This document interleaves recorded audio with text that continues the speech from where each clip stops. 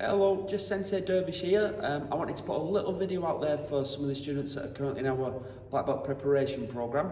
Um, I want to just go over Pinan Godan in this quick video. I know a few of the students needed a little bit of brushing up more on this Pinan Kata, so I just wanted to create a quick video for you. Just go over Pinan Godan and hopefully it'll help you along your Black Belt journey. So let's start. So as always with all your katas, especially Pinan Katas, hands by your side, feet together, us, nice and simple, basic stuff there for you. Good um, fingertip position, good V shape there with your feet, and then Pinan Godan Sensei. So, Pinan Godan Sensei, wait two or three seconds there, step forward into yoi. Now, like all of your Pinan katas, look towards your left, good cat stance inside block one, punch two, slide up, and again, what your senseis are really looking for is your good stance on the next move. So inside block one, punch two, slide up. This is where some students get a little bit confused between Godan and Yondan. We need to step forward with our right arm and right leg. Throw one, step forward, left arm, left leg. Cross, come up. Don't forget to open your hands, and this is a common one at black belt gradings. Keep this leg where it is.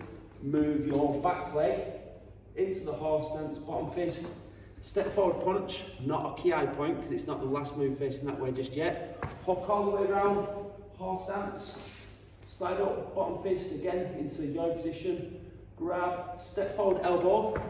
Make sure you take a full step onto that. Definitely, some students before have done this type of movement, so make sure you take a full step onto that.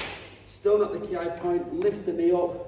Now the ki point, Ian, making sure your hand is this way not this way as it would be in Pinan Yondan. Little step back there with your left foot. Now you need to do the turn and the jump. Your sensei is going to be watching more for height than distance. If you can get both, fantastic, but they're definitely going to be looking more for height. So we're just going to turn, jump, one, land into that cross stance again, cross block, pull your hands back into your left hip, throw out there, and again, a ki point because it's the last move facing that way head turn, we've been covering this a lot I've got Prep lessons. Right leg must in, go back out, good long stance, hands open, let your legs do the work rather than your back. Grab, snap back one, still keep going down, half step, your right leg steps out, grab, and again, let your legs do the work rather than your back. Close, snap back, stand and procedure, wait for the three, two, one. Come back to the eye, and again, three, two, one, feet together, then finish the kata off there. So again, there's a few th tips there that I've mentioned. Wasn't aimed to go into massive amounts of detail this video, but hopefully give you a little bit more tips on what to do better and to try and give you the best marks possible for your grading. So good luck.